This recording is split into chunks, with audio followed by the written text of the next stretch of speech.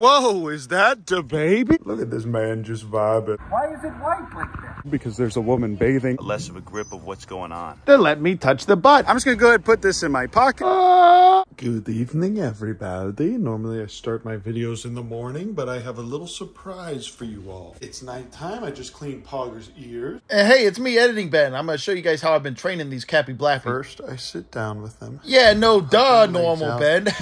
After this, I go ahead and monitor their body language and make sure they're nice and comfortable. I'm gonna go ahead and fast forward this, but I slowly move my hand just a little bit closer to them, inch by inch. You can see this is the first time I've ever been able to do this. If you look closely, his heart rate and breath rate is increased. Once I'm poking him with my knuckle and his heart rate and breath rate slows down, I go ahead and start petting. Then I go ahead and explore with other types of petting where I just kind of scratch his cheeks, his ears. As you can see, normally they don't like it when you touch the back, but he loves it now. He even got comfortable with me holding the camera up to him, but then he stood up, which means, hey, I, I don't care too much for that camera being there, sir. After waiting just a little bit, I went ahead and started shoving the camera in both of their faces so they'd get used to it. And look how skittish these little boys are, but now they're comfortable with me touching their butt. You know, they really like it when they start to close their eyes a little bit. But you absolutely know you've won their heart and their trust when they lay down like this. And now they don't even care about the dang flash being in their eyes. Just look at this man wiggle his ears. Chad Uncle Ben has officially tamed a Cappy Blappies. And it only took a solid, uh, how long we been filming this, you guys? Probably about like three weeks. And you really know they trust you when you put your whole fist under their belly and just bounce them up and down. But I have found that they do like neck scratches the most. This is phenomenal progress. We I'm did. very happy with this progress. I'm very thankful. I've actually been praying for that. Tonight it finally happened. They finally just let me pet them openly. That's it though. I'm gonna sleep in my own bed for tonight. Last night I slept out there with them and it was just a lot. And I got books to read. Oakley Dokley went ahead and moved the ostrich chicks out here. They have a little bit more space to run around, stretch their legs. Now they're finally getting a little bit of vitamin D as well. They're the same size as these guys, so they should be safe to run around with them now. Although they weren't a little bit ago.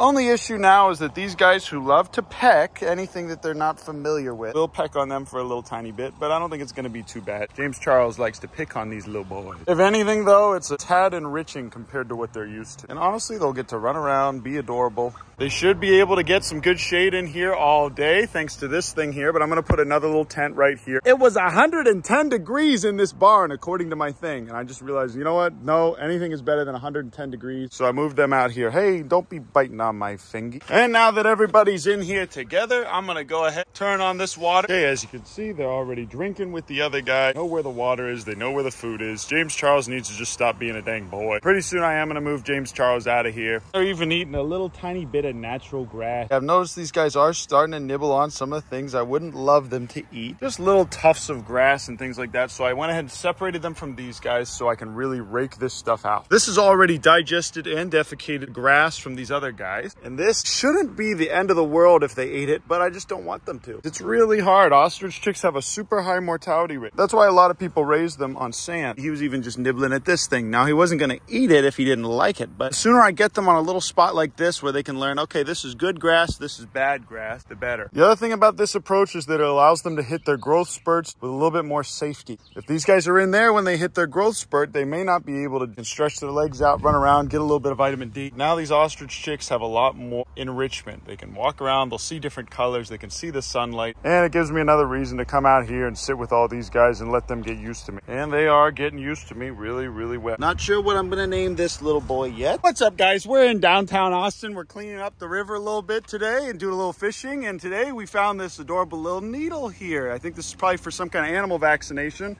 What do we do with it? I'm just gonna go ahead and put this in my pocket. These are just like the ones we used to find in the crack house back in the day. I found these all over the floorboards of my house whenever I first got it. Should be a relatively safe place for now, so I can take this back to my home lab and analyze it later. Jackpot! Don't mind if I do. Ooh, What's another ooh, one. Look at ooh, yeah, man, man. Cut at me. Oh, Brandon found a free stop sign. Don't mind if I do. I'm gonna get it first. Raise that baby up. Let's take a look at it. Wow, bro, that's something you could keep here. Flip it. It says slow. What? Mind if I do? Downtown Austin has some of the most beautiful creeks and a decent fishery right in the middle of the city. Hey, here's a nice little comforter Brandon Ooh, found. Ooh, don't mind if I do. tonight. Bring that back home, put it in the dryer. Very nice. Look at this beautiful man with his beautiful bag. Little fishing, little trash picking, cleaning up Austin a little bit. And look at those little sicklies. What's up, epic Fortnite pranksters? I'm here with the with uh I hate myself. I hate myself. I hate myself. and it's very beautiful down here, but sadly there's people naked bathing in there. And for those of you foreigners, it is illegal to be naked in public. Just advise that man and his small child to not walk down that road because there's a woman bathing a little bit downstream. But it's very beautiful here. We got a lot of natural limestone creeks. Could be amazing if we didn't have as many people living down here shooting up needle and bathing. Ooh,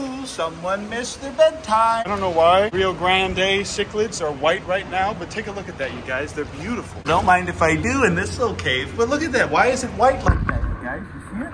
Why is it white like that? It's so handsome. Well, as you can see, I caught this one all by myself. I caught this. Uh, this is me. I caught it. Uh, this is my rod. Just caught this all by myself. This is a Rio Grande cichlid. It certainly wasn't caught by this beautiful, handsome man here.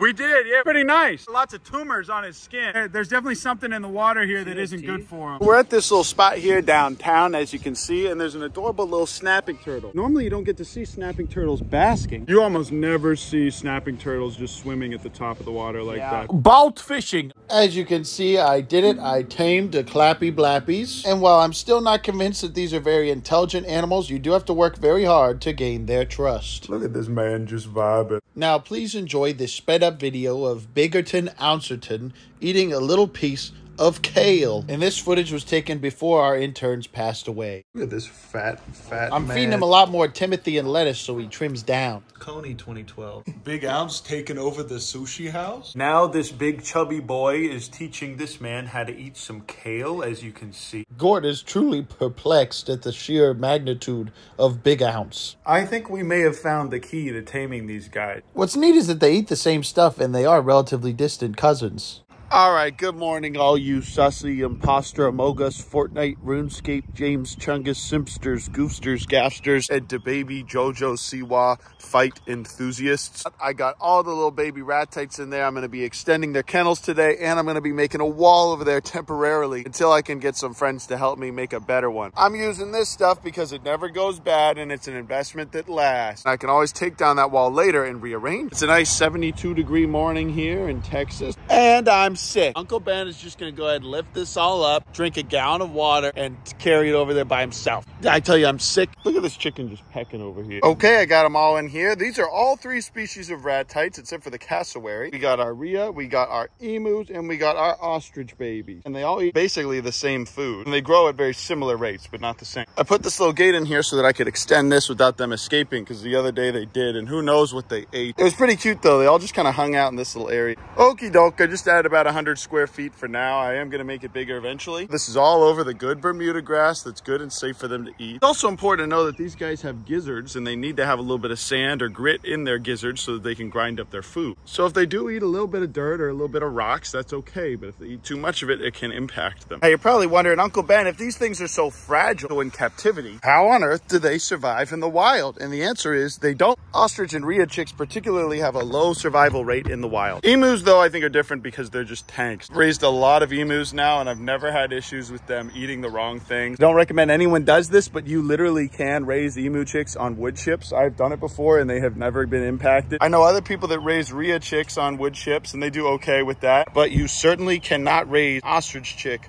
on wood chips. This is how Rheas will eat. They'll pick out little tiny bits with their mouths, just tiny, tiny little bits. Emus are a lot more curious and they like to poke and peck at things. And ostrich chicks are just all around a lot more dumb. They seem to have a lot less of a grip of what's going on. Okay, we just got the rest of the fencing. Now we're not going to be getting any more of that. Yesterday, Poggers got away and just ran to the groomer down the street. What's great is that the groomers took care of him and found the microchip and called me up. What isn't great is that they fed him a lot of junk food. So now he's going to run off and just go right back. He slept inside my living room. And this morning I let him out and he's just already gone. Literally let him outside like two hours ago and I just can't find him now. But the pool's evaporated pretty well. The pigs seem to escape pretty well too. Good morning, Queeb. I'm just to go ahead and guide these pigs back over to where they're supposed to be. Good morning, Loretta. Hello, Queeb. Praise God, the fencing guy came by and dropped off Pogger. Apparently he was just two lots down, just sitting in their yard. Pogger, come on, let's go. I, I oughta. Whoa, is that the baby? Uh, uh, hey guys, it's me, Urban Rescue Ranch. Take a look at this store we got here. We got Big Boy,